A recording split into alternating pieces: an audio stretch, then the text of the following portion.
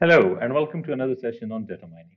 Today we're going to talk about structural risk minimization and its formulation into a regression problem.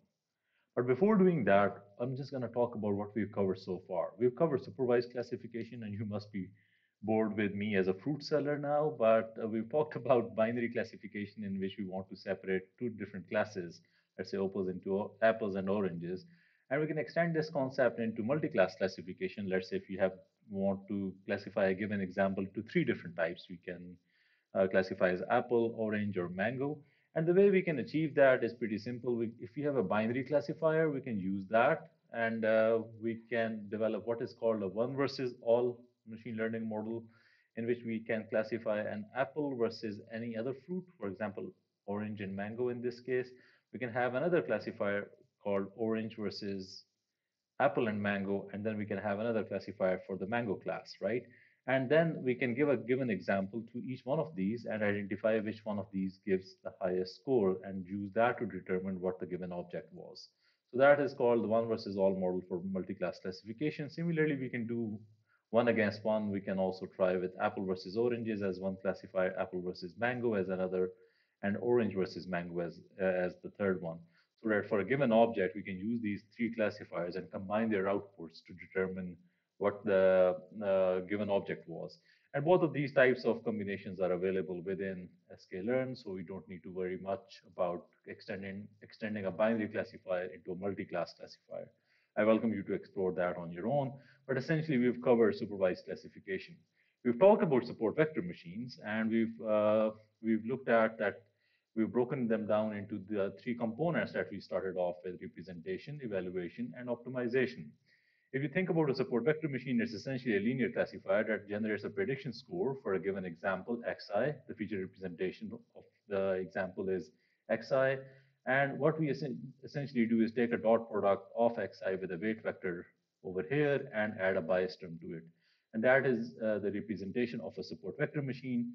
This can be converted into a kernelized representation through the use of the representer theorem. Okay, so that's not too uh, too tricky, right?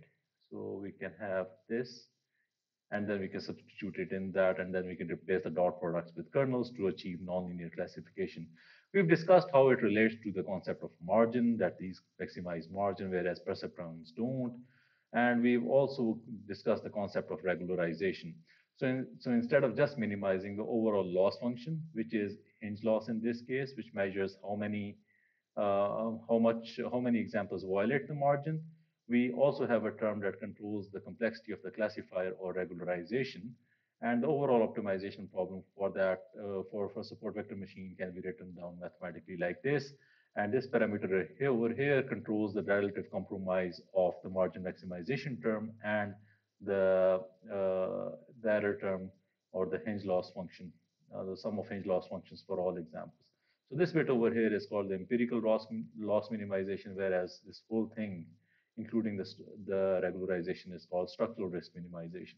And we've seen that structural risk minimization achieves better performance in comparison to empirical risk minimization, especially when the data set is really small or the number of dimensions is very large. Okay. So we can solve this optimization problem either through gradient descent, in which we take the derivative of this optimization function, this whole thing, uh, let's call it L, and you can take the derivative of that with respect to the weight vector. You can take the derivative with respect to the bias. And then we try to minimize this uh, objective function by taking the taking steps opposite to the direction of the local gradient. And we, we've seen that of and how that works. We can also use other type of optimization methods such as quadratic programming. We won't be going into too much detail in this module for that, but those methods are also uh, typically uh, machine learning solvers for support vector machines or optimization solvers for support vector machines to use quadratic programming or a variant of that. Uh, but you can so use any optimization technique, even if you have a quantum computer available to you. This is your optimization problem written over here. You can use a quantum computer to solve this optimization problem using quantum annealing, let's say, just, just something for the, from the future, okay? So you can have uh, what is called a quantum support vector machine. But, but let's hold our horses for a sec and let's step back. Uh, if you think of a support vector machine, the underlying concept is essentially structural risk minimization, which says that we should reduce the amount of error we have over the training examples.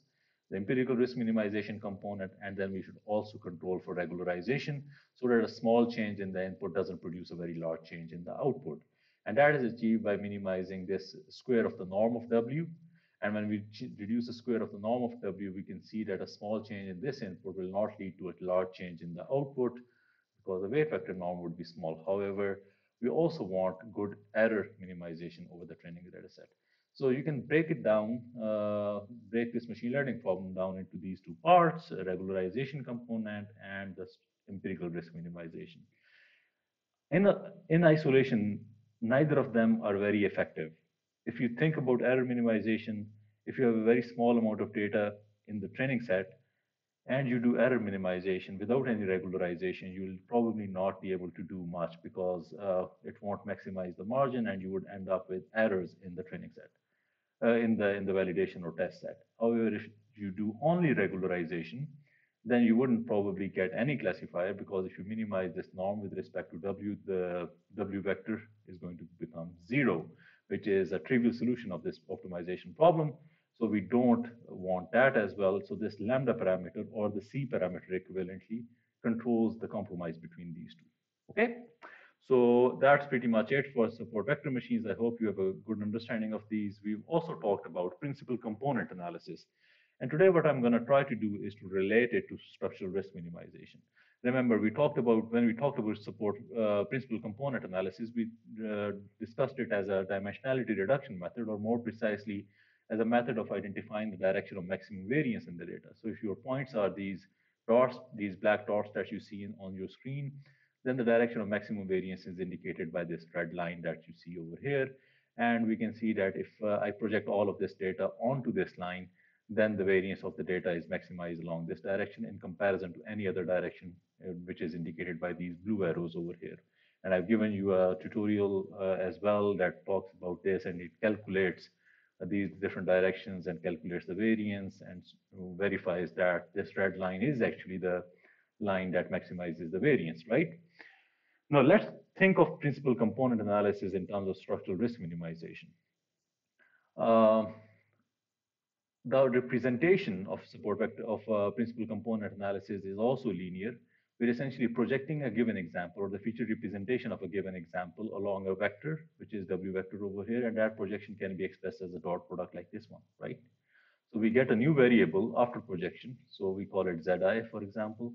That is a scalar, which is a projection of this Xi onto this W vector. We've discussed that in detail. You've got a single point, let's say over here, and let's say you've got a W vector, which is this red line, then this is the projection of uh, that point onto this vector. So this is z and this is x. Okay, so so we got a projection vector onto that. And what we want to do is to maximize the variance. And at the same time, we want to minimize the norm of the W vector. Okay, so this is a, an alternate formulation of the problem of principal component analysis.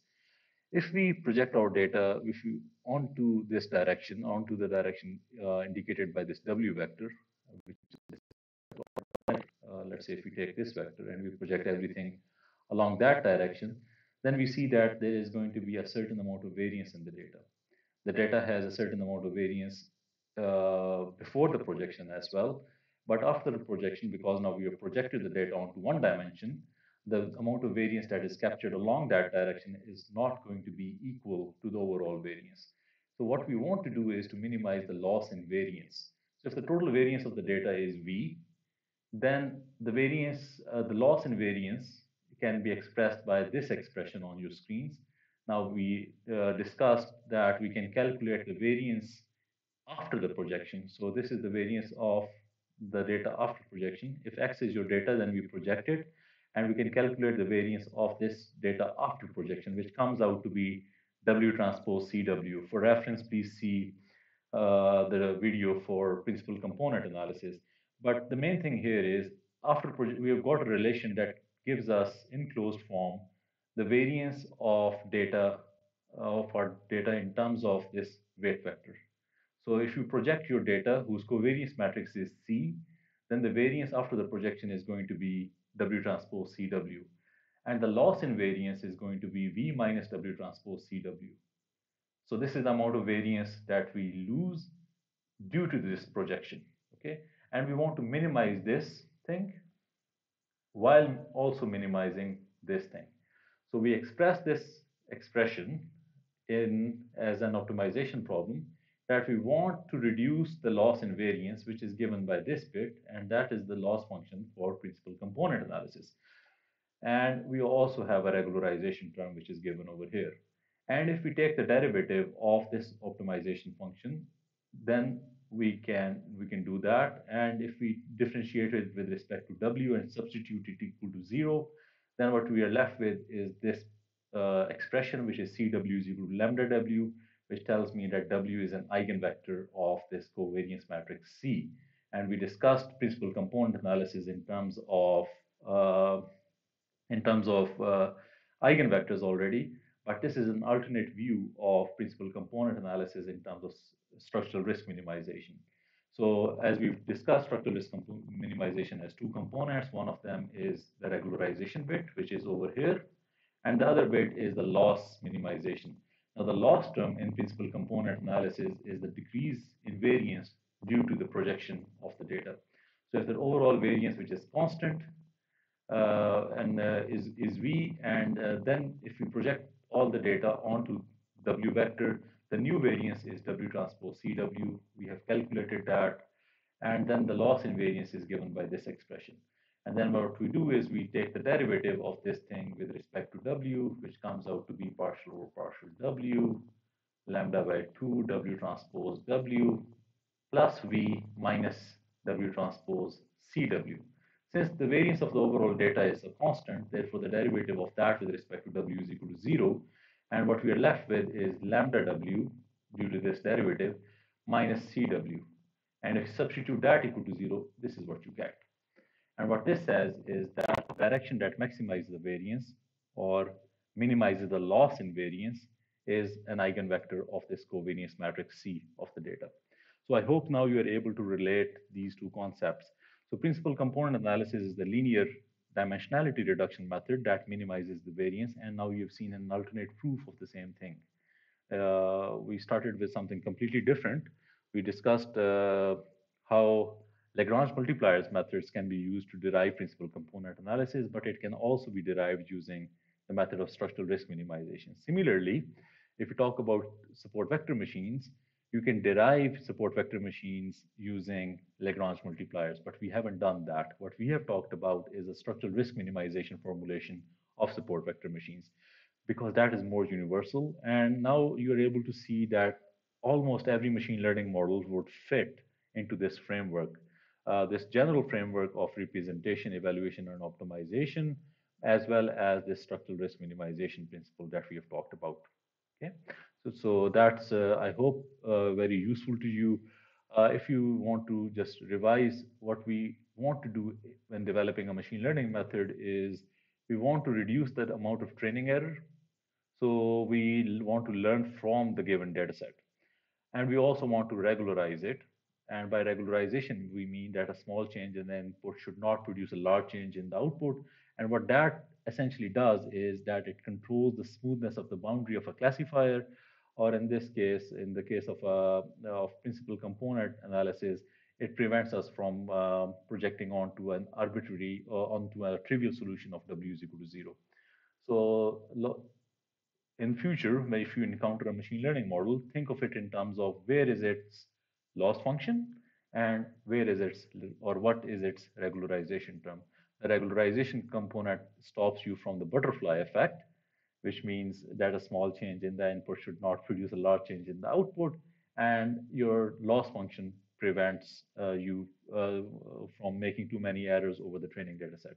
Okay, so that's the, the essence of both of these methods, and uh, or all a number of other machine learning methods as well. And next, what we are going to do is we are going to see how this framework of uh, structural risk minimization can be used to solve other problems in machine learning, specifically regression. Thank you.